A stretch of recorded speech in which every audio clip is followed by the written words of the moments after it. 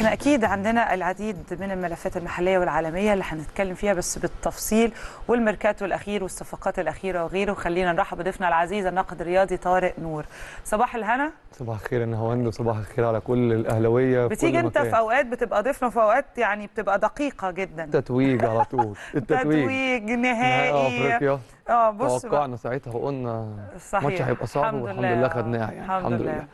بص بقى يا طارق آه، هبدأ معاك كده على طول. إمام عاشور. إيه ده؟ عرفت إزاي. طبعا هبدأ طبعا بصفقة آه، إمام عاشور اللي بقالنا فترة تقريبا أسبوعين الوسط الرياضي كله بيتكلم على أساسها. يجي لنا تليفونات كل شوية أنتوا في النادي الأهلي يقولوا لنا آه ولا لأ. أكيد أكيد ما كناش بنصرح بأي كلام حتى لو عندنا معلومة. كنا بنقول لحضراتكم دايما نلتزم بالقرار أو التصريح الرسمي من يعني النادي الأهلي. وقد كان وبالتالي إحنا تاني يوم على طول بنتكلم في هذا الموضوع أو منذ الدقيقة التالية يعني. آه، لكن سمعنا كتير. هبدأ معاك من أول ما ابتديت إنك تسمع عن صفقة إمام عاشور لغاية اللحظة اللي تم الإعلان فيها بالأمس. خليني أتكلم معاك في ده. لو هناخدها من البداية خالص كده يعني خليني متفق معاكي لا كأهلاوي ولا كناقد ولا كمشجع ولا كأي حاجة كان حد مصدق إن ممكن تكون الصفقة دي حقيقي صحيح. لأنه كان بعيد تماما عن مخيلة أي حد. يعني إمام كان في فترة من الفترات هو بيتم تجهيزه إنه يبقى كابتن بعد كده بعد شيكابالا. يعني هو اللي كان واخد اللي هو ال- الحتة الجماهيرية اللي هو النجم اللي هيبقى هو اللي بيقود الجماهير الزملكاوية. فعمره ما كان يجي في دماغنا إن في يوم وليلة يجي آه، سكة الأهلي مثلا وما كانش في مشاكل بينه وبين الزمالك مثلا حتى لما كان سايب الفرقة ما كانش حد يتوقع. لحد ما بدأنا بقى نشوف أعمالنا الصحفي يوم عن التاني عن التالت لا الموضوع بيكبر. نور الدنيا. الدنيا حمرت بيه. أيوه. وجاي آه، في ليلة التتويج كمان يعني. بص هو صفقة يعني أعتقد وإن شاء الله كلنا عندنا أمل كبير إن هي تضيف كتير للنادي الأهلي. واثقين طالما تم خلاص ربط اسمه بالنادي الأهلي إن هو أكيد هيبقى فيه ثقة وفيه كلام كبير وهنشوف إن شاء الله لعب محترم. وأنت عندك دلوقتي خط وسط للأهلي. خلي حد يعدي الأفضل بقى خلاص. كده إحنا خلي قفلناها. حد يعدي مننا. سولية ديانج إمام عاشور مروان. يعني إن شاء الله يضيف كتير. لكن زي ما أنت قلت ما كانش في حد قوي قادر يصدقها. كانت صفقة بس هي صفقة إيه؟ يعني صفقة قاضية. قاضية فعلا. يعني بتتوقع برضو إن شاء الله ال- الأداء الفترة الجاية أه، بالصفقات الموجودة بالصفقات ال- اللي رحلت بالأسماء اللي كانت أه، أضافت كتير للنادي الأهلي لكن ال- يعني أنت عارف كل حاجة ولها نهاية يعني لكن الاسم بيبقى زي ما أنا كنت بقول. في بداية الحلقة لكن برضو رحيل أيمن أشرف ميكسيوني أه، حمدي فتحي طبعا. حمدي فتحي برضو خلينا نقرأ معاك المشهد حاليا يعني خلينا متفقين الأهلي ما بياخدش موقف أو ياخد قرار ببيع أو شراء غير لما بيكون درسه 100% مم. أيمن أشرف ما فيش حد يقدر يتكلم عليه فنيا أو 15 اخلاقيا بطولة مع النادي الأهلي بالظبط. اسم كبير طبعا بالظبط بس جه كولر مثلا قال لك أنا أيمن أشرف عندي لو أنا عندي خمس مدافعين هو ترتيبه الخامس أنا مش محتاجه خلاص مم. ومحتاج الناس اللي معايا آه حمدي فتحي مشي فأنت عايز تعوض لأن عندك بطولات قادمة جاية الأهلي هينافس على يعني في كل الأصعدة الموسم الجاي. فأنت محتاج تجيبي حد برضك يوازي حمدي فتحي يكمل الكتيبة مم. الحمراء دي. فجبت إمام عاشور اللي هو من وجهة نظري ومن وجهة نظر الجميع في مصر كلها هو الأفضل في مركزه. و... وأنا مش عايز أخرج بره برضك قصة إمام عاشور غير لما يعني أنا برضك مش عايز أنهي الموضوع وأتكلم حتة فنية بس عن إمام عاشور لأن في لمحة تانية برضك أنا مش عايز أخوض فيها بس لازم لأن هو حديث الشارع الرياضي كله طبعا دلوقتي. طبعا. آه، في بعض الجماهير الأهلاوية وعلى الناحية الثانية برضه. بتقول ده نادي المبادئ ومش نادي المبادئ وانتوا اللي بتقولوا مش عارف إيه وبتقولوا إيه. إزاي تجيبوا لاعب عمل وعمل وعمل وعمل؟ وإزاي ما عملتوش ده مثلا مع حسام حسن وإبراهيم حسن وإبراهيم سعيد والحضري ورمضان وكل الأسماء ال- اللي كان ليها مواقف مثلا والأهلي منع وخد يعني خد قرار صارم معاه. أنا عايز أشوف القصة دي برضك وأوجه رسالة كده للناس كلها. الموضوع ده مقسوم. يعني مش عايز أقول مقسوم هو يعني محورين بيكملوا بيكملوا المنظومة دي كلها. يعني إيه مبادئ؟ فهل في شيء مثلا مكتوب؟ إحنا لما عملنا ناخدش الأهلي هل إحنا عملنا شيء مكتوب مثلا. المبادئ دي مجموعة من القيم على مر على مر السنين كله تم عملها. أنت بتقول اللاعب اللي هيعمل كذا يبقى غلطان ومش هينفع اللاعب اللي عمل كذا هي- هيبقى غلطان ومش هينفع. إمام عاشور غلط وتجاوز بس على مر الفترة اللي فاتت دي كلها من قبل ما حتى يكون في أي ارتباط بينه وبين اسم النادي الأهلي. اعتذر. هل إمام عاشور اتربى جوه النادي الأهلي؟ هل هو اتربى على نادي النادي الأهلي؟ هو لو كان كده ما كانش الوضع بقى ما كده كانش عقاب ما كانش هيجي النادي الأهلي. آه، أنت. لما أنت عملت ده على الناس اللي اتربوا عندك. آه. وهو لو تواجد من البداية في النادي الأهلي عمره كان هيتكلم أصلا بالظبط. بهذه اللهجة تجاه أي حد يعني. بالظبط. هو ده اللي إحنا بنتكلم عليه. وعلى الجانب الآخر بقى يعني خلينا نقول مثلا نبعد الإدارة شوية أو نبعد النادي كنادي مؤسسي. الجماهير مثلا يعني إيه عقاب؟ أنت نفسك تعاقب لاعب مثلا عشان تجاوز معاك. بغض النظر بقى اعتذر ولا ما اعتذرش. أنت عايز تعاقبه يعني إيه تعاقبه؟ يعني أنا بسألك أنت يعني إيه تعاقب لاعب؟ هتعاقبيه تعملي له إيه؟ ترد عليا هتعاقبيه تعملي له هي ايقاف مثلا؟ أنا نفسي بس الموضوع يبقى أبسط من كده لأن هي صفقات إحنا بنشوف أندية عالمية عالمية ولعيبة بقى لهم سنوات طويلة جدا موجودين. ما حدش اتكلم بهذه اللهجة أنت بعتنا أنت عملتنا أنت هي صفقات وهي رياضة. إيه، كل واحد بيبقى مثلا لو أنا هتكلم عن النادي الأهلي إحنا لينا طبع مختلف إحنا لينا آه، آه، فهم مختلف. لما تيجي تقول ابن النادي وغيره آه، بنزعل وبنرفض لما حد يكون ابن النادي ولينا مبادئ معينة في قيم معينة زي بالظبط. ما أنت قلت ما هيش حاجة مكتوبة دي بتتوارث. ولكن الصفقات وغيره وانتقال اللاعبين ده بيحصل. لو حد زعل من ميسي ولا شتم ميسي لما راح PSG ما عمره كله في PSG في برشلونة. عفوا. فيعني الموضوع شوية يمكن sensitive عند البعض. الموضوع ممكن يكون ليه وجهات نظر مختلفة وعلى فكرة تحترم كل وجهات النظر. إحنا. مش هنعلم حد يفكر إزاي كل واحد براحته جدا يفكر إزاي. لكن أنا هتكلم في اللي جاي. اللي جاي لاعب إحنا بنتكلم له قيمة كبيرة جدا لاعب مصري له قيمة كبيرة جدا. النادي الأهلي قيمة وكيان كبير جدا. أكيد أي اسم بيجيبه بيبقى عارف إن هو هيضيف ليه كتير وبالتالي اللاعب هيتم إضافة طبعا في تاريخه إن هو لعب في النادي الأهلي إضافة كبيرة جدا. بالظبط. فهي وين وين سيتويشن نتمنى التوفيق إحنا دايما بنبص لقدام لا يستوقفنا الكلام اللي أنت بتقوله. عشان كده أنا حتى عايزة ما نركزش قوي في النقطة دي يا طارق لو تسمح خلينا. آه يعني خلينا نتكلم في المهم. عندك النهارده مباراة ويعقبها تتويج واحتفالية كبيرة جدا. هيشاهدها مش بس عشاق النادي الأهلي من الداخل ولا الوطن العربي من العالم كله. أنت عارف النادي الأهلي ما بتكلم عليه أنا بتكلم على نادي عالمي بدليل حاجات كتيرة جدا. آخرها لما كنا بنحتفل بالأغنية بتاعتنا. العالم كله خدها بعد كده. ترند عالمي. حصل. فلما تيجي تتكلم عن حاجة دايما بيبقى فيه دلائل من أو شواهد يعني على ذلك وإحنا عندنا كتير. فالنهاردة مباراة آه، يعني أعتقد هتبقى برضو في غاية الأهمية حصل. البعض بقى يقول لك النهارده النادي الأهلي عايز يخلص بسرعة عشان يحتفل وغيره لا، لا. فممكن ما يبقاش فيه تركيز شديد ممكن ما يبقاش فيه آه، حرس الحدود فوارق كبيرة جدا ترتيب مختلف تماما وغيره لكن برضو هتبقى مباراة مهمة ومارسيل كولر ما عندوش حتة إن أنا آه، آه، راجل مفروض عملي عمل الوقت عملي عمل عمل 100%. وقت الاحتفال احتفال فرؤيتك لمباراة اليوم رؤيتك للأداء كمان من قبل حرس الحدود النهاردة اللعب إزاي اتفضل. يعني على الورق ونظريا حتى لو الأهلي ما كانش حسم الدوري ولا حتى حرس حدود هبط المباراة قد تبدو مثلا سهلة جدا للأهلي. وفنيا برضك الموضوع سهل جدا للأهلي. بس في نفس الوقت إحنا برضك في آه، زي ما انت قلت برضك في أجواء احتفالية. في آه، روتيشن في برضك فرقة خلاص بتودع ويمكن ده آخر مباراة ليها فنفسها تعمل ذكرى حلوة حتى. آه، هل ده مثلا هيقول إن الأهلي مثلا هيفرط في الفوز أو هيفرط في في نتيجة إيجابية؟ بغض النظر أنا أشك في ده تماما لأن في هدف الأهلي يخلص الدوري أهو أنت خدنا الدوري وخدنا الدرع وان شاء الله النهارده هنتوج بيه. بس في هدف تاني إن أنت عندك سلسلة انتصارات وسلسلة لا هزيمة أنت عايز تكملها. بغض النظر عن الاسم اللي هنلعبه حرس الحدود أو بيراميدز أو. حتى المصري أنت عندك هدف ثلاث مباريات الجاية حياة أو موت برضك بالنسبة لك كانها مباراه كؤوس أنا عايز الثلاثه بونت أو عايز النقطة على الأقل ما تهزمش عشان اخد دوري اللا هزيمة اللي هو هيتحسب لكولر برضك من ضمن إنجازاته مع الفريق صحيح. فكولر من يوم ماتش آخر مباراة لينا في الدوري قفل على الفرقة على طول مباشرة الفرقه بتتدرب على طول في تركيز واضح إن عندنا مباراة جاية نكسب ناخد الدوري بعدين نحتفل نرجع بعدين نتمرن من جديد عشان مباراة بيراميدز وبعد كده مباراة المصري في الختام. هيدفع النهارده كولر بعناصر جديدة ولا لأ؟ زي ما عمل طبعا مع المقاولين ودفع ببعض العناصر الجديدة. والله توقعي الشخصي مباراة النهارده تحديدا هيبقى فيها rotation و rotation كبير جدا كمان. ده. توقع شخصي يعني من قرايه المشهد لأنه عنده بعد كده مباراة بيراميدز برضك اللي هي برضك إحنا خلاص خلصنا دوري بس إحنا قلنا عندنا أهداف تانية.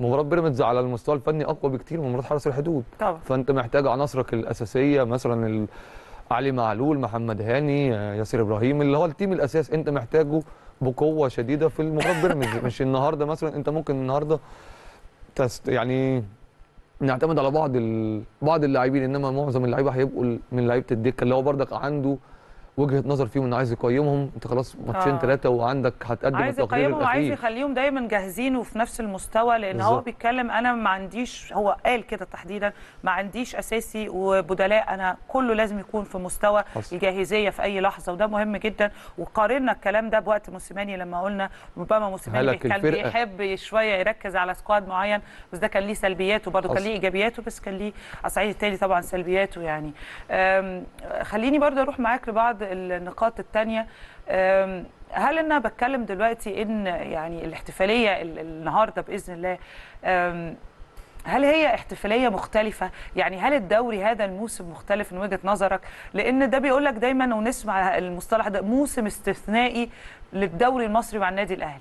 آه ليه برضو مقاييس مختلفة؟ وفكرة إن أنت برضو مفيش. خسارة يعني لا ده ده موضوع برضو مختلف لازم نقف عنده كمان. شوية. مفيش فأنت طياب. مش بتحتفل بأي حاجة النهارده أنت بتحتفل بموسم فعلا استثنائي. وغير اللي هو الاستثناء بقى أنت الدوري وحشنا. يعني ك ك كدولاب. متعودين هو هو موجود. على طول في الدولاب.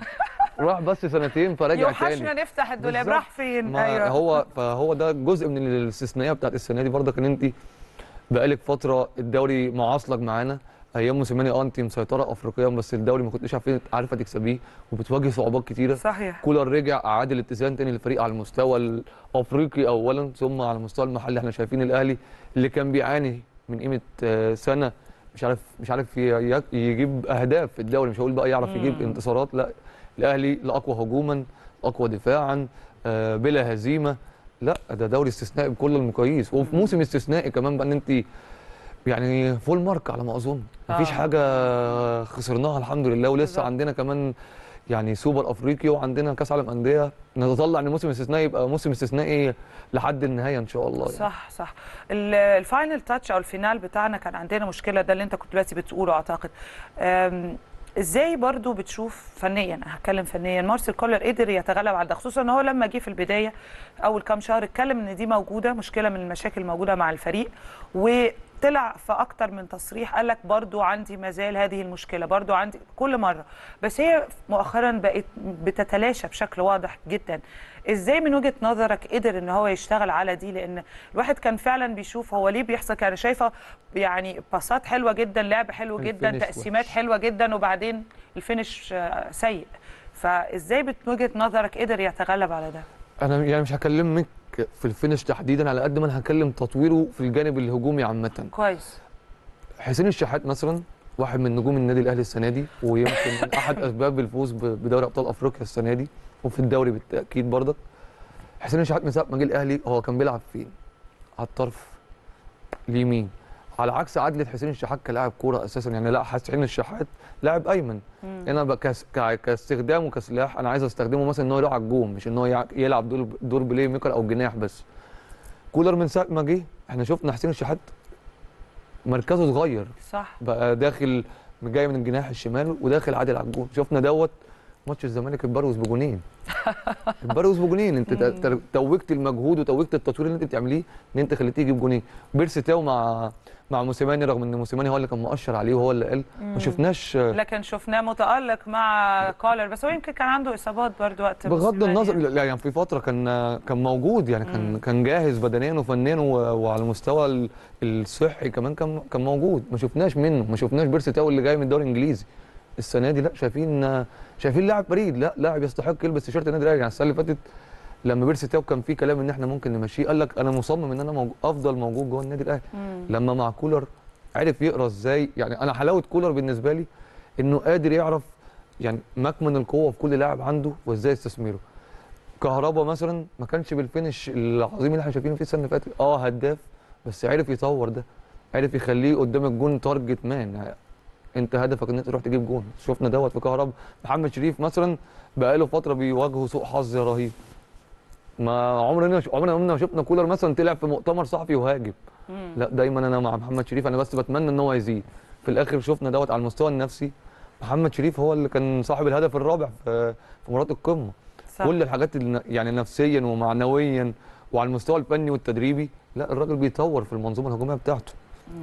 ده غير بقى الشغل اللي هو جاي من ورا مثلا بقى يعني خط الوسط أو الدفاعات إزاي بت بتفرق في في المنظومة الهجومية؟ لا والتألق برضو بتاع حراسة المرمى آه، يعني الأربعة اللي عندنا مع المنتخب الأولمبي حمزة. يعني لا بص في في فعلا تطوير أو ده اللي إحنا كنا بنأمله. إحنا القصة كلها مش عايزين حد آه، يجي يعني يخلي نفس المستوى بتاع الأهلي هو هو. إحنا كنا عايزين حد, حد.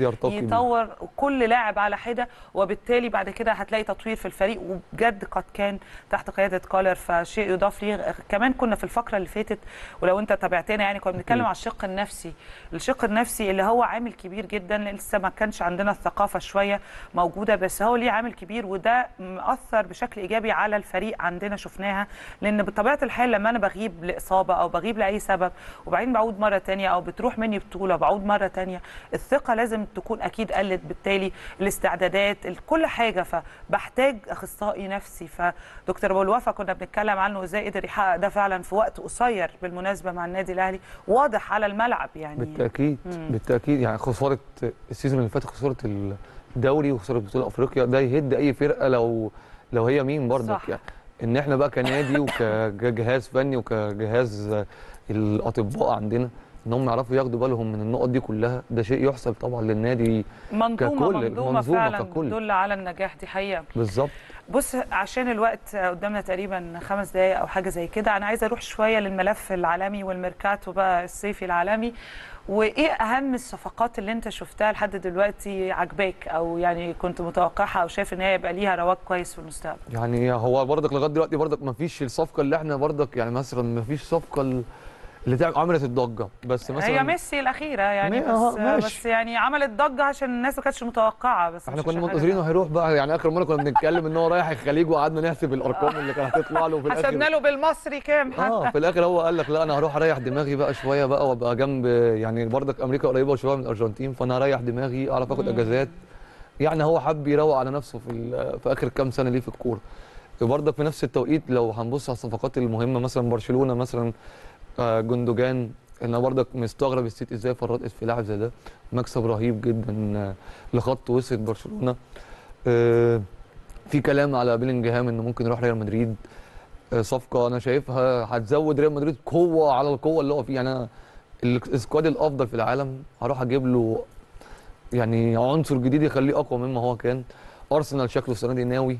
يعني في آه. يعني جاب هافرتز وجاب آه، هو أصلا كان رايس موسم بالنسبة له رائع لكن سوء الحظ يمكن أو التوفيق الأخير هو اللي ضيعها بينافس لكن آه. بالظبط لكن أرسنال كان مقدم موسم رائع طبعا يعني. أرسنال على يعني ككورة اللي عايز يتفرج على كورة يتفرج على أرسنال يعني على مدار الزمن أرسنال بتقدم كورة عظيمة هو جدا الغريب إن أرسنال بيقدم كورة حلوة جدا لكن غايب عن التتويج ده. برضه ده بتفسره ثقافة؟ الفوز ثقافة الفوز. يعني. إحنا هنا عندنا في الأهلي مثلا في أحيانا ما بنبقاش في أفضل أحوالنا.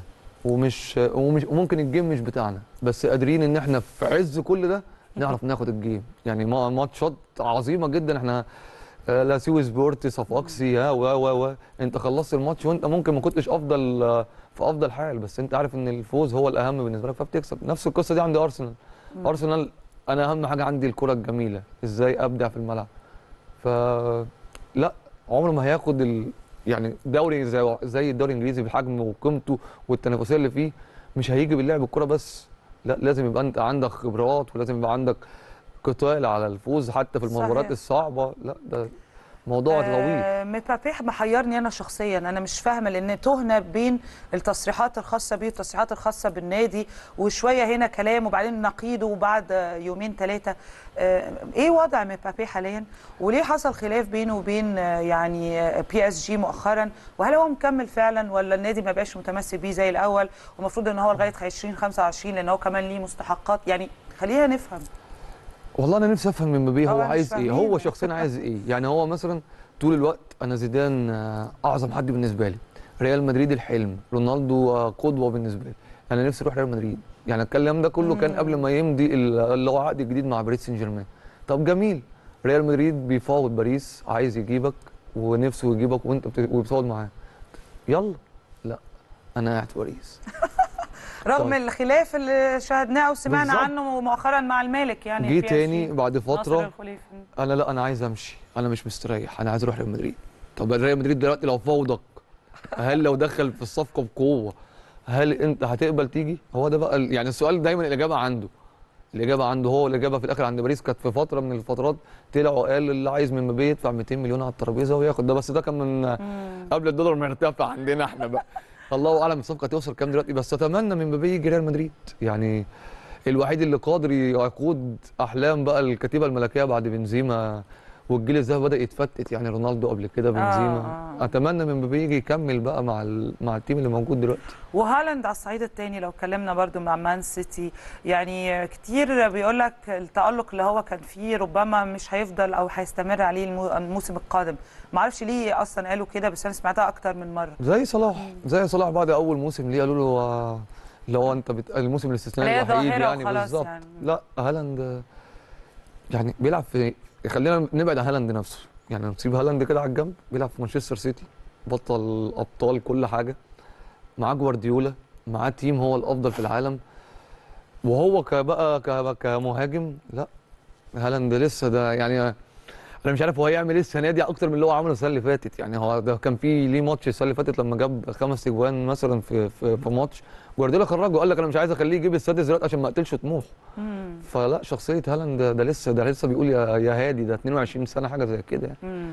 أكيد الدنيا هتبقى يعني ك كأسلوب دفاع من الفرق اللي هتواجهه أكيد هتشوف طرق أخرى توقفوا بيها بس جوارديولا هيدور له دايما على الطريقة اللي يبدع بيها أكتر يعني هو مروض الفرقة كلها لتنفيذ طلباته هو يعني فيرمينيو كانتي بنزيما كريستيانو. رونالدو الدوري السعودي هل ده كله هيكلل في النهاية بنجاح ولا هي ظاهرة وواخدة الاتنشن بتاع العالم حاليا ولكن لن تستمر؟ بمنتهى الصراحة وجهة نظرك يعني. الإجابة عند السعودية نفسها. هم شايفين إيه؟ هم هل هم عاملينها شو ولا هم نفسهم فعلا الدوري بتاعهم يبقى قوي؟ لو هم نفسهم يبقى شو دي, دي حاجة تخصهم. بس وأنا اشك في ده. لا أنا شايف إن هم الناس دي عايزة تعمل حاجة. ولو هم قرروا يعملوا ده أنا أتوقع إن الدوري السعودي هيتنقل نقلة تانية خالص يعني. ده في كلام برضك إن هم عايزين يجيبوا محرز و... ومانيه. الأسامي اللي إحنا بنتكلم فيها دي طب هم هيلعبوا مين بقى؟ يعني بقى يلعبوا بعضيهم دربيات. دربيات مع بعضيهم. هو الموضوع مش في الأسامي اللي هتلعب. الموضوع زي ما قلت لي اللي قلت لك قبل كده في الحلقة اللي فاتت ده بينقل ثقافة تانية للدوري نفسه للعيبة السعوديين نفسهم. هينقل لهم ثقافات مختلفة للكورة نفسها هيشوف الكورة بشكل مختلف. الدوري نفسه هيبقى تنافسي بشكل أكبر. آه، من بس فترة هل هيبقى فيه متعة؟ خليني أقول لك على حاجة برضو. طارق لما أنا أشوف مثلا لعيبة مش من مش محليين أنا لو هتكلم عن الدوري البلد اللي أنا بتابع الدوري جميل. المحلي بتاعي. شايفة لعيبة آه آه، تقال جدا بس مش من اللعيبة بتوعي مش محليين أصلا ومش من ولاد الأندية بتاعتي. جبتهم من بره بأعداد كبيرة وهم شخصيات كبيرة ومحترمة ولها قيمتها وبيلعبوا. طيب أنا يعني هل أنا كده بتكلم إن الدوري بتاعي بقى رائع ما هو أنا جايبه عناصر برضو مش بتاعتي يعني ما أقدرش أقول إن أنا الكورة عندي بتاعت مش بلدي الكرة السعودية اتطورت. نفسها، تمام. لا هي ثقافة الكورة الأوروبية جت عندي لكن أنا الكورة السعودية بتاعتي عشان تتطور بالخبرات الأجنبية دي اللي جاية هتاخد في short term و long term. plan ده على ال long term plan أكيد لكن مش دلوقتي. المتعة الحقيقية إن أنا أشوف تطوير لأولاد البلد موجودين في الدوري المحلي متطورين. أنا أنا من انصار الراي ده بصراحة يعني. أنا متفق معاكي أنت عشان تعمل حاجة زي دي وتستفيد منها أكيد مش هتستفيد منها في التوقيت الحالي دلوقتي. وفي نفس الوقت برضك أنا ضد مبدأ إن إحنا فين اللعيبة بتاعتنا إحنا الشخصية. أيوه. أنا ضد المبدأ ده يعني لو أنت عايزة تعملي دوري قوي وفي نفس الوقت برضك يبقى ليه معايير. يعني الدوري الإنجليزي مثلا فهو في آه، يعني نبص على أي نادي كده بص على اللعيبة الإنجليز جوه الأندية الإنجليزية قليلين جدا. وده. بيأثر بشكل ما على المنتخب الإنجليزي. بيأثر على المنتخب الإنجليزي نفسه. بس في نفس الوقت أنت عاملة دوري هو الأفضل في العالم. يعني الدوري الإنجليزي هو الأفضل في العالم لأن أنت سمحتي بال... بالاحتراف بمعناه الكامل السعودية هتكسب من الموضوع ده أكيد هتكسب حتى لو مش في الفترة الحالية. على على اللونج تيرم زي ما أنت قلتي. لا أنا ده ده شيء كده كده مكسب. ده كده كده مكسب حتى لو مش هكسب دلوقتي أنا مم. متفق مع وجهة النظر دي جدا يعني, يعني انت أتمنى- أنت شايف أنا مزيد من. الصفقات أتمنى ربما طبعاً. مش هيضر ابدا يعني أنا أتمنى تبقى عندنا إحنا إحنا هنا بص إحنا عندنا كنا بنتكلم آه، من الأسبوع اللي فات تقريبا آه، تحديدا على الملف ده كنا بنقول عشان نرتقي ونتطور برضو الموضوع ليه شق كبير سيولة ورأس. مال كبير انت عندك الكوادر الجميلة اللي أنا بتكلم عنها؟ الكوادر القوية والبوتنشال والمواهب العظيمة جدا. واولاد البلد الأندية المحلية وغيره بس يمكن ما عندناش ال- المال. والسعودية العكس. فهي دي هي معادلة صعبة. يعني في حاجة بتخدم على حاجة. فهي دي. أنا متفق معاك. يعني أتمنى يوما ما إن شاء الله يعني نقدر نعمل ده. وأتمنى السعودية تستفيد بال- بالقدرة المالية اللي عندها. يعني بدل ما أشتري لمجرد إن أنا أروج أو إن أنا أعمل show لا أنا أستفيد من الناس اللي أنا جايبها دي واحد زي رونالدو واحد زي فيرمينيو واحد زي الأس... كل الأسامي اللي جاية دي دي آه، قادرة تعمل قلبان في في. الكرة السعودية بص نفسها على كل حال في المجمل آه، أنا بشوف اللي عاملاه السعودية دلوقتي من التطوير الثقافي والحضاري ده شيء لازم يعني يتقال لهم شابوه. بالظبط. السعودية كانت فين زمان وفين الكام سنة الأخرانيين دول من ناحية المرأة ومن ناحية الثقافة ومن ناحية حصل. حاجات كتيرة جدا. بصراحة يعني تغيير ف- رهيب تغيير جذري يعني. فت... وكان مطلوب. لا يمكن 2023 بتتكلم في دولة زي السعودية كانت بثقافة آه، مغلقة يعني شوية. مغلقة بهذا الشكل. بالعكس هم عندهم كوادر كتيرة جدا فكرة أكثر من رائعة فكانوا يستحقوا اللي حاصل دلوقتي يبقى فيه فرص كمان. ف... فهي كسبانة كده كده كفكرة إن هي بتحط نفسها على الخريطة بشكل مختلف وبتقدم نفسها للعالم بشكل مختلف. العقلية نفسها. العقلية اختلفت يعني حتى طبعا. إحنا- أنت بتفرض بقى العقلية القديمة الرجعية إن هي. تتقبل ال- الحداثة. إحنا ف- لو متذكرين التصريح الع... العظيم بتاعنا من محمد صلاح لما قال ال mentality آه هي. ال mentality بص it's all about the mentality هو الفكر نفسه. هو ده اللي انت أنا بتفكر إزاي هتدير حياتك؟ تفكيرك بالظبط. سليم هتدير حياة سليمة ناجحة. والعكس أكيد. صحيح. عشان كده بقول لك النجوم دي بشكل ما أكيد هتفيد. مم. حتى لو مش على مستوى الكورة هتفيد في هنا. هو ده وهو ده المهم. أما أغير هنا أهو أقدر أغير كل حاجة. والله هم اللي هيتغيروا مش إحنا. لا لا لا لا ما اشك هم اللي اشك بي... ما شفتش ابن رونالدو عامل إيه؟ ده بقى. سعودي خلاص. نورتنا يا طارق كالعادة والله اشكرك جدا. هتروح النهارده تحضر التتويج ولا إن شاء؟ الله إن شاء الله بالليل. أنا دايما موجود في في أيام. التتويج إن شاء الله. نورتنا. وبشكر حضراتكم أكيد على متابعتي النهارده ونشوفكم إن شاء الله يوم الأحد. وألف ألف مبروك علينا. وخلينا نفرح الكام يوم دول عشان لسه أكيد عندنا يعني مشوار طويل جدا. مع السلامة.